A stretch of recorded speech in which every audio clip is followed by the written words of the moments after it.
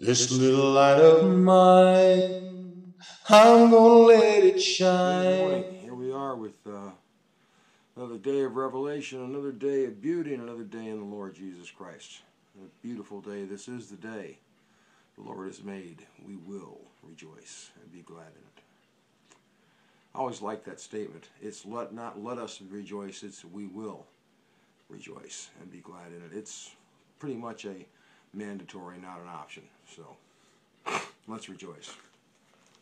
And we can rejoice in the Word.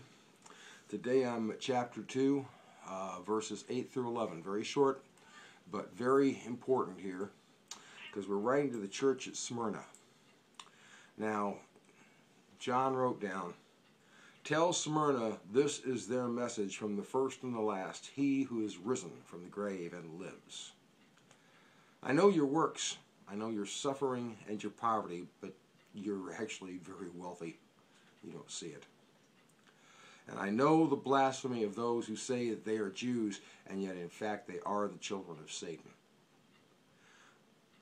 Don't be afraid of the trials you're about to face. Satan will cause some of you to be cast into prison, and you will be there for ten days, and some of you will die, but be faithful unto death, and I will give you a crown of life. So we're not talking about a long, long thing, and and no warning per se, uh, other than to be faithful. I think that Jesus is telling us that a lot of times we go through, even when we are faithful, and we don't see the importance of what we're doing. And I think that's that's really very very true. I remember when I was with the USS Dixie in the Christian Fellowship there, when I had first come to Jesus Christ. I was uh, 30 years old, and all I did was go about my daily life with Christ. I was a new Christian, or I prayed every morning. I attended churches. I went about with a smile on my face, the way I was told to do. I tried to address the Holy Spirit in all things I did. And halfway through that cruise, I was out playing guitar for uh, the, the pastor, doing something, and one of the other crewmen, who I'd never suspected, came up to me and said, You know, Fred, I've decided to recommit myself to Christ. Said, Great. I, fantastic. And, you know, praise God. And he says, I just wanted you to know that it's because of what you did. Whoa, what have I done? And then I started to realize that it was just to witness Christ.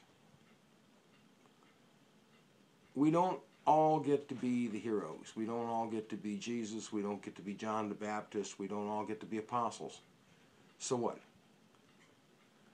Being faithful to Christ is what's important. Knowing that there is a Jesus Christ and that there is a Holy Spirit and that those things, when applied to your life properly, make a world of difference. So hard to say that and so easy to see it, isn't it? I mean, it really is easy to see. You make the choices. You make the difference. When you go out in your life every day and you greet people with a smile, they smile back when you go out in your life and you put the needs of others before yours, they realize that not everybody is selfish. They realize there is a hope, there is a chance. We will never be at peace until we truly understand that we are not meant always to lead, but to lead by example. If you want to be the driving force in peace, be peace. Don't encourage others to peace. Walk your life in peace. Because the confidence, the love, all of the things that you gain when you are in peace radiate from you like a sun. People will be drawn to it. You can change the world.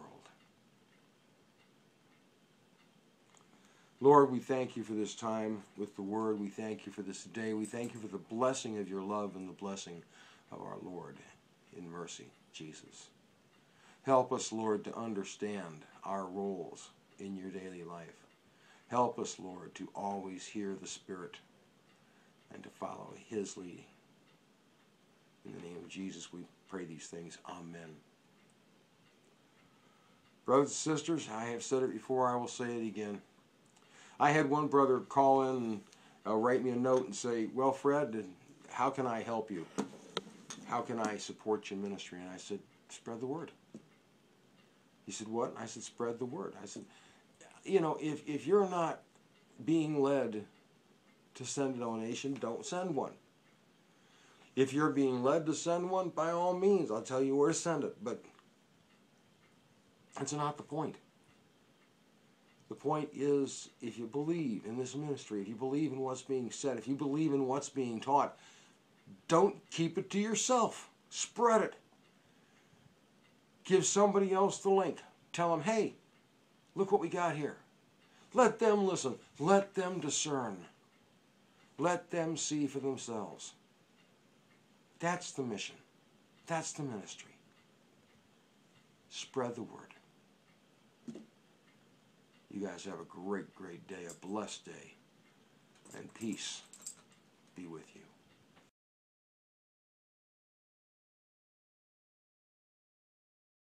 This little light of mine, I'm gonna let it shine. This little light of mine, I'm gonna let it shine. Let it shine, let it shine, let it shine. This little light of mine, I'm gonna let it shine. This little light of mine, I'm gonna let it shine. This little light of mine, I'm gonna let it shine.